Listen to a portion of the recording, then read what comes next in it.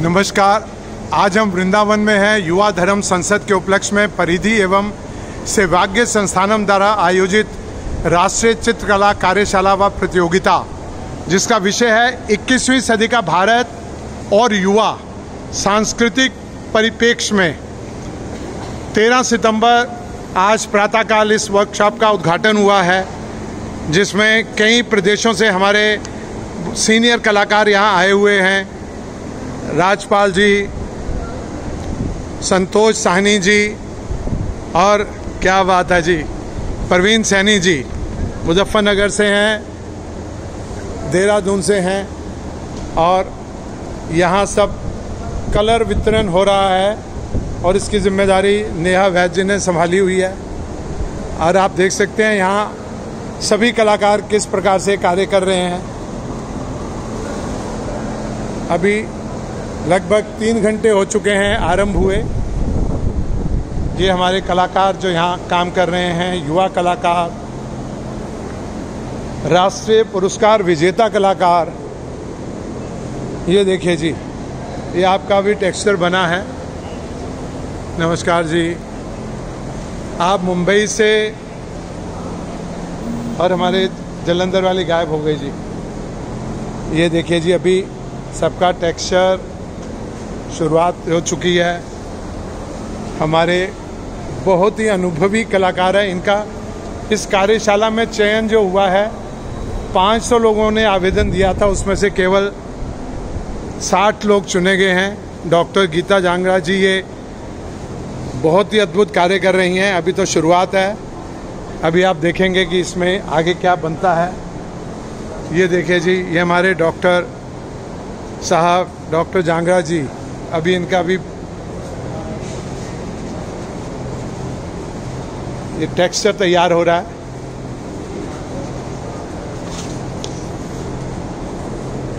ये देखिए जी स्केच यहाँ काफ़ी बन चुका है। इधर भी स्केचिंग हो रही है।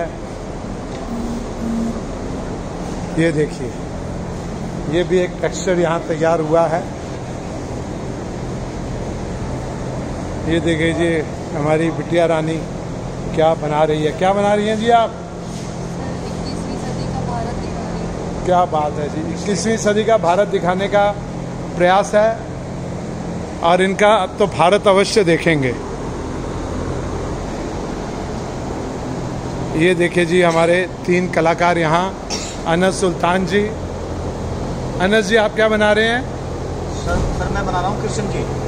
कृष्ण जी बना रहे हैं। जी जी।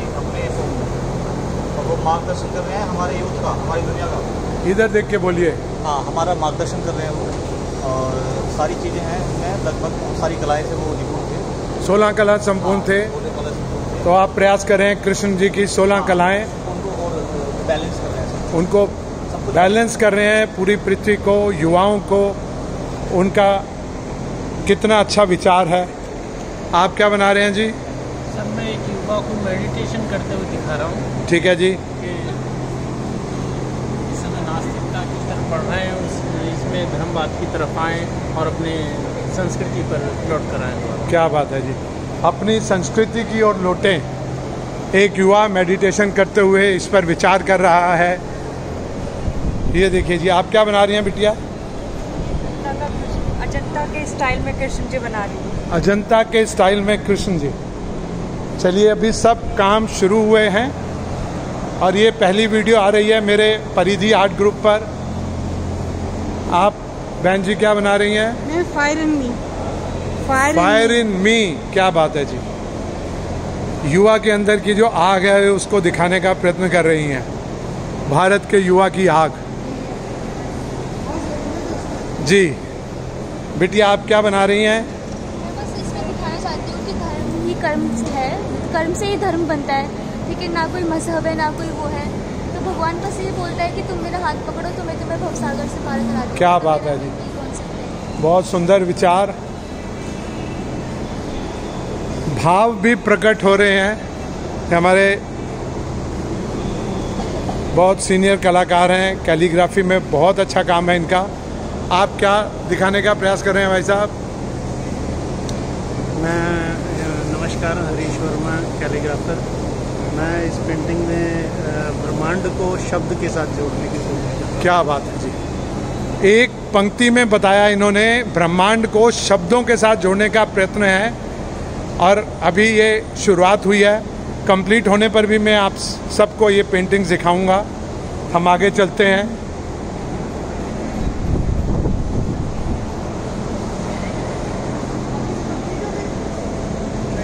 आप क्या बना रहे हैं बेटा? सर मैं आधुनिक युग का जो टाइटल दिया उसमें आधुनिक युग का प्रेम बता रहा हूँ। क्योंकि हमारा आइडल राधा कृष्ण है तो उस हिसाब का आज का यदि प्रेम होगा तो वो बना। आधुनिक युग के राधा कृष्ण को दर्शाने का प्रयत्न है इस पेंटिंग में। राष्ट्रीय चित्रकला कार्यशाला परिधि और सेवाग्य संस्थानम के सहयोग से आरंभ हुई है। ये जी इनके ये हमारे राजस्थान के कलाकार हैं। अमन कुमार टांग और इनको इनकी जिद थी कि मुझे जो है केवल कार्य करना है। क्यों जी। एक्रेलिक में नहीं करना और ऑयल पेंट में करना है।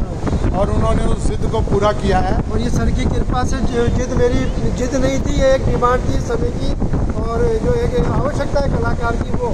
ये पूरी हुई और ये आज देखिए धन्यवाद बस जी इनका भी जल्दी कहाँ रहे हम देखेंगे। आप क्या दर्शाने की कोशिश कर रहे हैं? मैं सर दर्शा रहा हूँ कि शून्य से चाँद तक कैसे हमारा शून्य से चाँद पर हम कैसे पहुँचे?